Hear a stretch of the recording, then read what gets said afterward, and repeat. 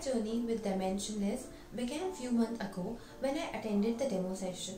At that time, I had several questions such as I'm from ECE background, how much it is feasible for me to switch to data science industry without prior experience of coding? Or how would I get the project in which I can utilize my data science skills as well as my domain knowledge?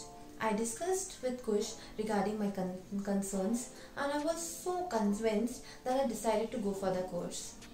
Before joining this course, I was talking to some of my friends who are already in data science industry. They suggested me to study by my own since a lot of content is available online. But the major difference that I felt after joining Dimensionless was my learning curve increased exponentially.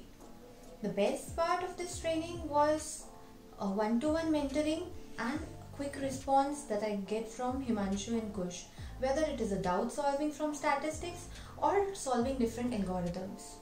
Moreover, Himanshu always encouraged me to try out different techniques, which enabled me to learn more. Also, this boosted my confidence level.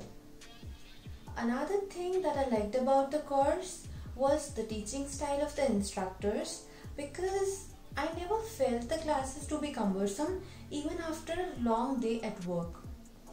Before joining this course, uh, I was thinking about uh, classroom training, but I was really not sure because of my hectic schedule and high possibility of missing classes. So uh, I was really not sure about that.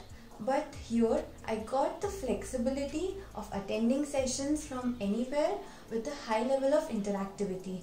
So thanks Dimensionless for the training and support.